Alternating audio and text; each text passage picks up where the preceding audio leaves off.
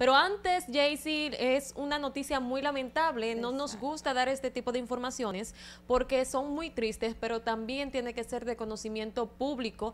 Y para poder recordar a uno de los grandes de nosotros, tenemos que hablar lamentablemente del fallecimiento de Víctor Víctor, este gran compositor y cantante de la República Dominicana, quien perdió la batalla contra el coronavirus. Señores, nosotros estamos cansados de decirles que el coronavirus no es un relajo. Estamos viendo cómo personas se nos están marchando de nuestros lados, personas que tal vez nosotros pensábamos que íbamos a tener un poquito más de tiempo compartiendo con ellos, viéndolo día tras día.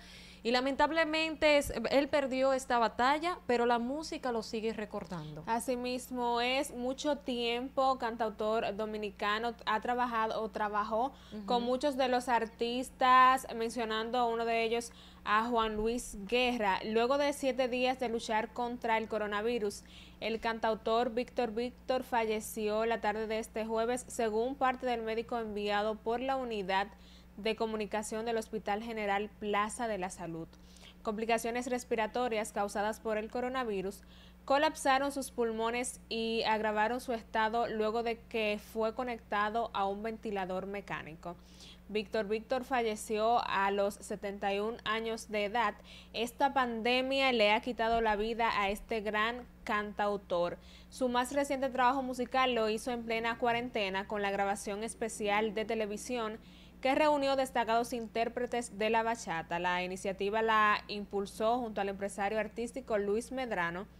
Juntos lograron que el Poder Ejecutivo encontrara a varios artistas populares que le realizaron un concierto en la Corporación Estatal de Radio y Televisión con el propósito de dejar un archivo del arte popular de este tiempo. ¿Y quién lo pensaba su único trabajo en medio de esta cuarentena, reuniendo a tantos artistas de bachatas dominicanos que son muy destacados? Y lamentablemente, tú sabes que él había tuiteado cuando abrieron la economía, él dijo como que bueno, nos vamos a morir ricos, eh, fue lo que se refirió en un tuit y porque de manera sarcástica, porque abrieron la economía, entonces todo el mundo salió a la calle, sí vamos a tener dinero, pero el coronavirus todavía sigue y continúa. ¿Y quién diría que más adelante él iba a ser uno de los afectados con esta enfermedad? Por eso nosotros decimos que no podemos seguir tomándolo tan a la ligera esta situación del coronavirus, porque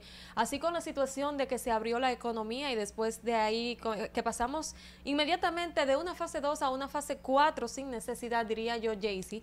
Que no se diría fase 4 porque estamos estancados supuestamente en la fase 2 porque no se ha hablado más de eso. Sí, pero tú sabes que la situación, el dominicano lo ha tomado como si la pandemia ha culminado y no es así. Hemos visto demasiadas irresponsabilidades de nosotros como los ciudadanos que somos de la República Dominicana, donde debemos de procurar seguir cuidando, no a nosotros, porque si usted no piensa en usted es porque no tiene amor propio, pero piense en las personas que lo rodean, quienes van a ser afectados.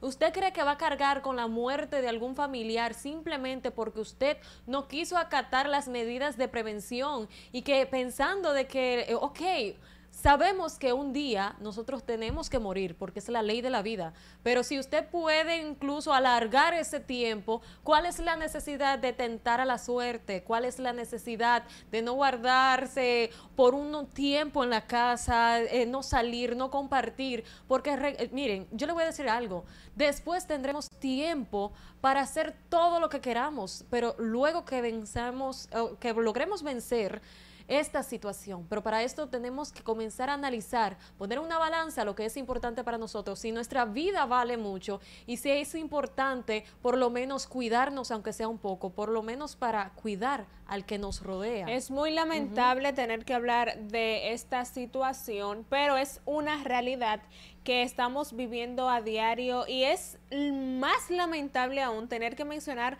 todas las cosas que estamos viviendo, porque luego de que comenzó en la política cuando quitaron el estado de emergencia y el toque de queda. O sea, eso fue, fue un desastre total. Y no solamente vamos a echarle la culpa al pueblo dominicano o aparte del pueblo que se ha lanzado a las calles como que no hay un mañana. El gobierno tiene, por supuesto, parte de la culpa de todo lo que está pasando. Mira ahora que están pidiendo 45 días de estado de emergencia ¿Por qué pasa todo esto luego de que pasaron las elecciones? Ahora todo el mundo está feliz y contento. Bueno, los PRMistas están felices y contentos. Ya pasó esto. Vamos ahora a otro periodo de cuarentena porque sé que eso lo van a aprobar. Hoy se reúne la Cámara de Diputados y lamentablemente va para largo esta situación. Es que es imposible de que no lo aprueben porque los dos bandos ya están de acuerdo, ya están que esto se va a aprobar. No hay esta politiquería barata que había anteriormente. Exactamente. Aparte, como tú dices, el gobierno tuvo una pequeña parte también de la culpa por poder obtener esa presión que se le estaba dando desde la parte económica y tras esa presión y también de los ciudadanos diciendo, no, necesitamos dinero, abran el, sector económico.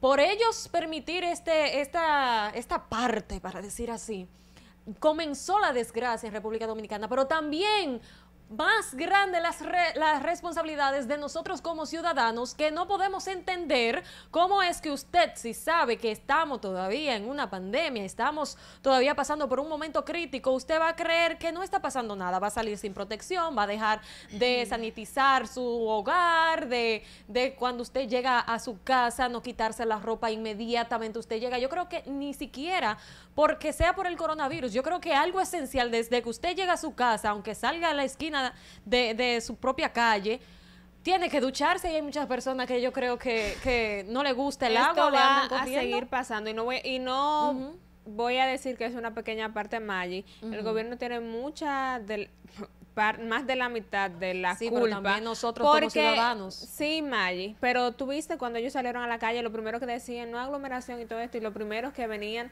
con estas aglomeraciones eran ellos. Y los ciudadanos que se iban también a caravanear. No, no, no, aquí tenemos culpa todos, todos, pero de verdad que si comenzamos a hablar de esto, no terminamos hoy y nos, y nos pasamos el programa entero hablando